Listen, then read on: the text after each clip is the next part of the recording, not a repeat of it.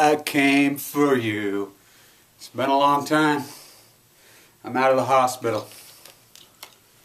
To all you people who sent me cards and letters and your prayers, they carried me through the night. They honestly did. I felt them so much and they carried through. For the first time in two months, I've been able to actually eat a meal.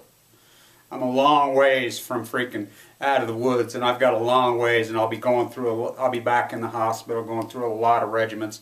But I got to go home for a few days. I'm alive. I am alive. And my rants and my raves as I fucking carried on and went crazy about Fukushima, as you people fucking know, if that was not my subconscious screaming fucking out to humanity, if that was not my subconscious reading that fucking cancer is fucking embedding to all of us, and that it appears me, I don't know what the fuck is. If that my path has not woke people up to environmental fucking poisoning, nothing had. My soul was screaming out. There's a reason. I told you guys before when Fukushima happened, it just popped in my head, you know, and I just let my subconscious take over.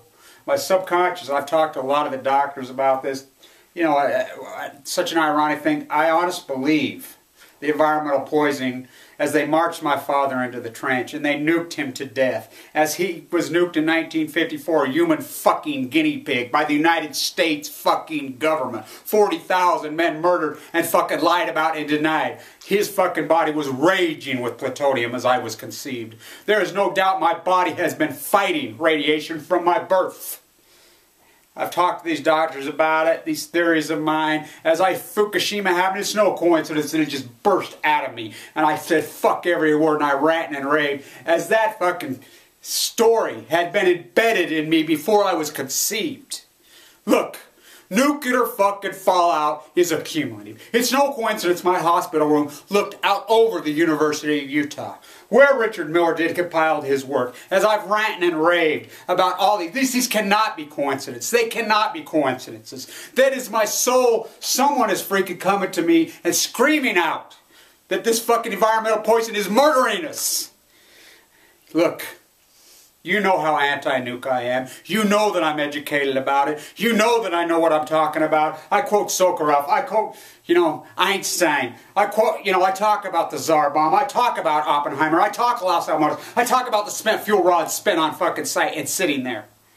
Look, this is fucking murdering people. My, my, and the medical system in this country is a fucking nightmare. How I'm alive, I've had one miracle. I honestly have. They misdiagnosed me. My bowel was constricted. Tumors wrapped around in a very acute situation. No food, water, basically for weeks. Fucking sent home from emergency rooms. Fuckhead doctors, pieces of shit who just didn't fucking care.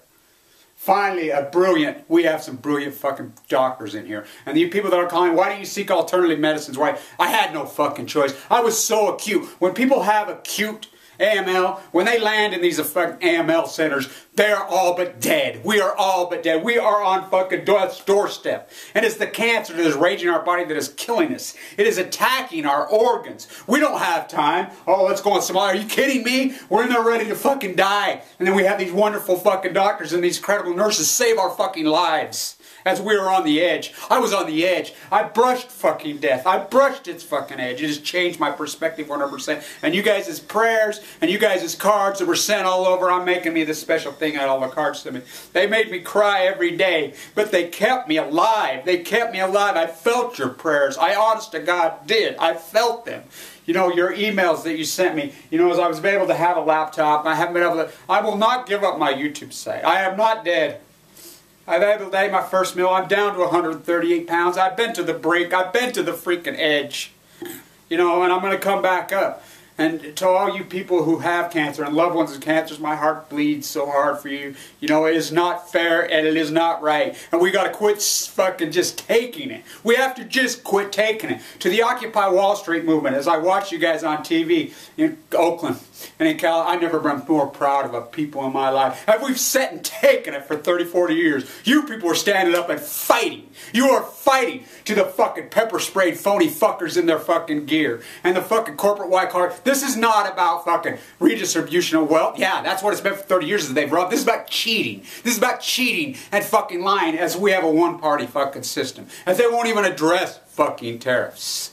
We have not one serious progressive left in all of fucking Washington. So are the, the kids, the young people, as they fucking take it on and they fight these motherfuckers. That's what should have been happening for 30 We've got to fight as cancer patients, as these people kill us, as they have Fukushima spent fuel rods are spent on. We've got to fight. We've got to stand up and fight, scream, yell, rant, rant. I'm trying. I'm trying. I bleed out. You know, I am. Not, you have not seen the fucking last of me.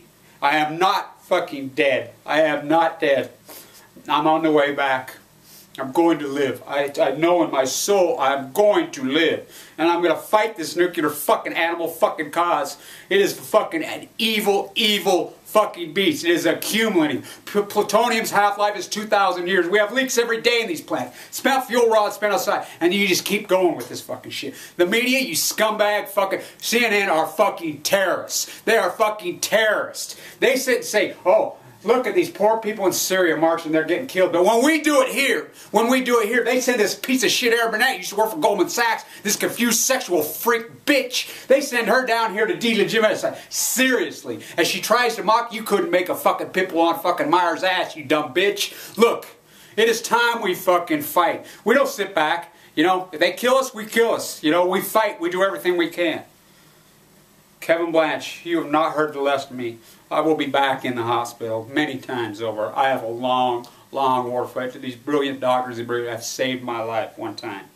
And me screaming out in this Fukushima, this fucking story of mine, and this path that I've in my YouTube site does not fucking wake anybody up. I don't know what the fuck will wake up. As my scream, as my soul has screamed out about the nuclear fucking nightmare. That fucking, I was fucking born with it. I was given it to it before I was even fucking conceived. That is the evil fucking monster. My body has been fighting it since the day I was fucking born, there's no doubt. It was in my father's, he was nuked.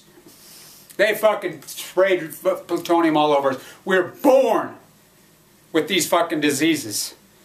Man fucking made the dumbest idea in the history of the world. Nuclear. They need to all go. Kevin Blanch.